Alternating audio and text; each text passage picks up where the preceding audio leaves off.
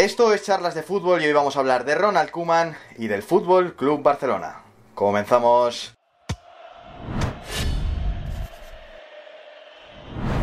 Bienvenidos y bienvenidas a un nuevo vídeo de charlas de fútbol. Como siempre os decimos, os podéis suscribir y yo de vosotros le daría a la campanita porque estamos haciendo infinidad de vídeos hablando de la Champions, de la Europa League, de noticias como esta de que Ronald Koeman es el nuevo entrenador del Fútbol Club Barcelona. ¿Verdad, Bárbara Quesjalan? Verdad, verdad, Diego Campoy, nuevo entrenador del Barça.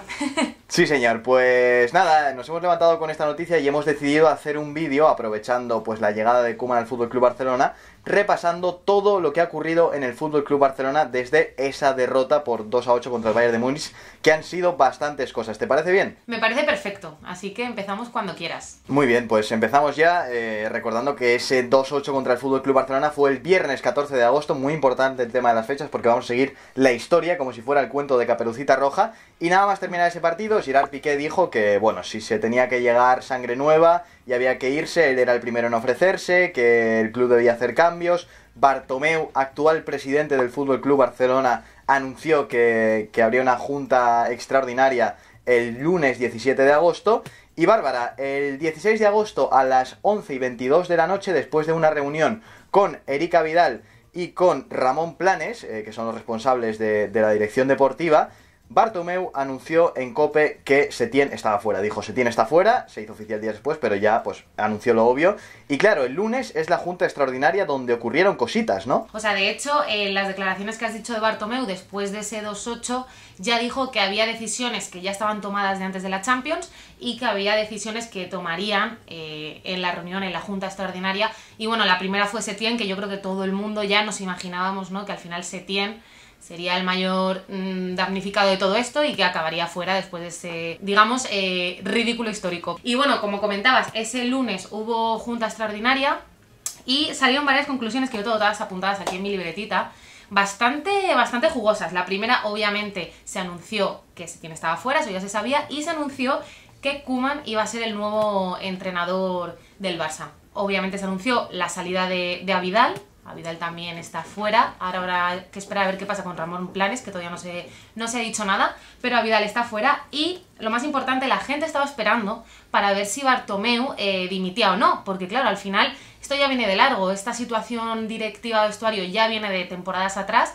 Y todo el mundo pensaba que tras este batacazo, pues ya dimitiría, pero no. El presidente dijo que dimitir sería lo fácil, que sería una irresponsabilidad si dimitiese en plena pandemia y que eh, anunciaba elecciones a partir del 15 de marzo. O sea que estará otra temporada más, lo que esperábamos, que habrá elecciones el año que viene. Sí, y, yo se lo veía a Dani Senabre, que es un periodista que, vamos, eh, todos los que queráis saber lo que está ocurriendo en el Fútbol Club Barcelona, os dejamos su cuenta de Twitter abajo en la cajita de descripción y su canal de YouTube porque es súper top.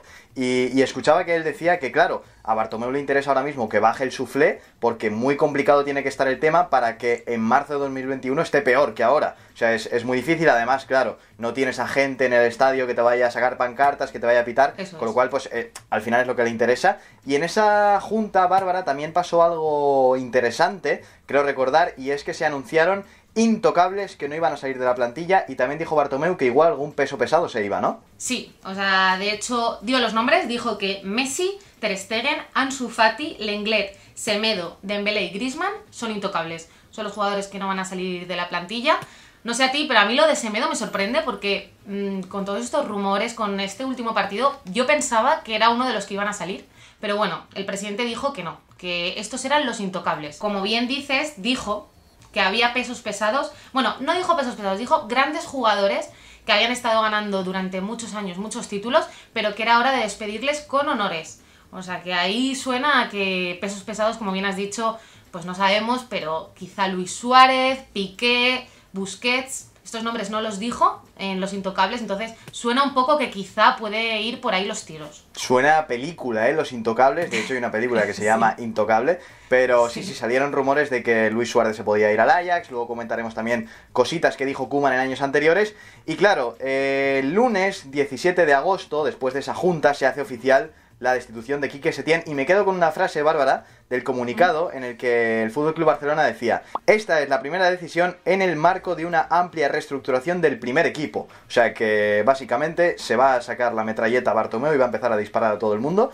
Y dicho esto, eh, Ter Stegen ese mismo día anuncia que se va a operar de su rodilla derecha y que va a estar dos meses y medio de baja. Ojito a esto porque también es importante. Y el martes 18 de agosto amanece un nuevo día en Barcelona y se anuncia que el Fútbol Club Barcelona rescinde el contrato de Erika Vidal, que por cierto es el cuarto director deportivo que sale del club con Bartomeu a los mandos. Se dice pronto, hay que recordar también, Bárbara, que pues Erika Vidal en su día tuvo sus rifirrafes con, con Leo Messi y hoy, es decir, el 19 de agosto, se hace oficial la llegada de eh, Ronald Koeman al Fútbol Club Barcelona. Firma por dos temporadas, pero claro, también te digo, el año que viene hay elecciones, con lo cual si sale un nuevo presidente, pues igual cambian las tornas, pero no sé cómo ves tú la llegada de Koeman al Barça. Bueno, es que hay muchas cosas. Has hablado de muchas cosas.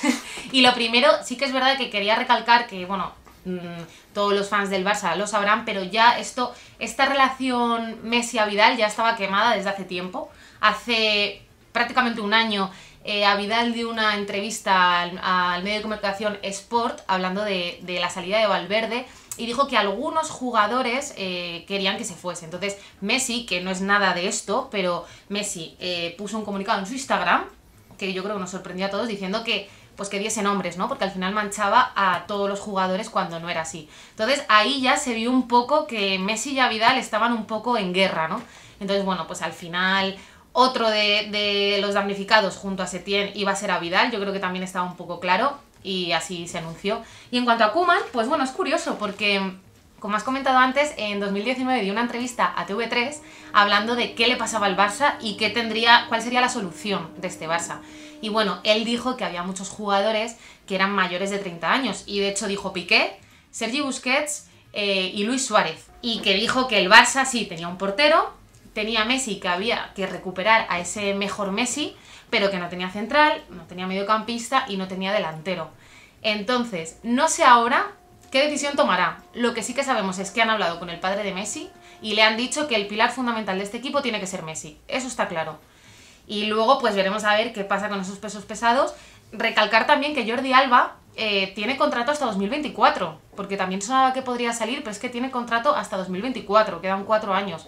O sea que, a ver qué pasa, a ver qué hace Kuman, pero en principio Suena que Luis Suárez, Piqué y Busquets mm, están ahí un poco en la cuerda floja. Sí, a ver, yo creo dos cosas. Lo primero, para que Kuman deje su proyecto con la selección eh, de Países Bajos, eh, que estaba a un nivel muy bueno, que iba a jugar Eurocopa el año que viene, Mundial, para que haya dejado eso, yo creo que el Barça le ha tenido que prometer muchísima libertad. O sea, yo creo que él va a tener libertad para decir, tú te quedas, tú te vas, tú te quedas, tú te vas.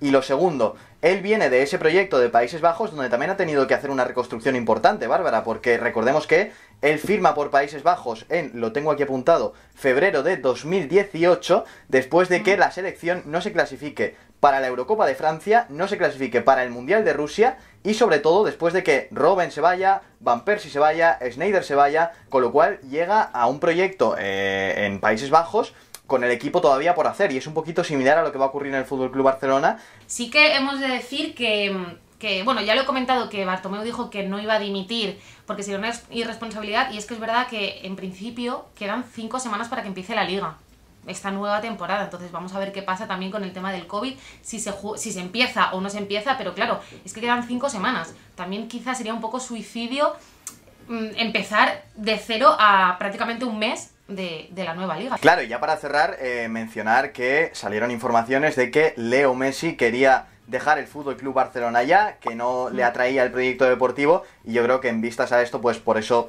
Bartomeu ha tomado la decisión de rescindir el contrato de, de Erika Vidal y bueno, como para facilitarle un poquito las cosas, traerá a un entrenador que le tenga a él como eje principal del proyecto. Así que nada, pase lo que pase, en los próximos días lo contaremos aquí en Charlas de Fútbol. Y yo voy a despedir a mi periodista zurda favorita de Charlas de Fútbol. Ha sido un placer tenerte aquí, Bárbara. Muchas gracias. Yo también despido a mi periodista, a mi periodista zurdo favorito de charlas, que eres tú. Hay que decir que somos los dos únicos zurdos, por eso hacemos esa broma. Y a vosotros también os despido recordándoos que les podéis dar a like si os ha gustado el vídeo, os podéis suscribir y como digo, siempre dadle a la campanita porque estamos subiendo muchos vídeos. Nos vemos esta noche en el directo del Bayern de Múnich Olympique de Lyon. No os lo perdáis. Chao.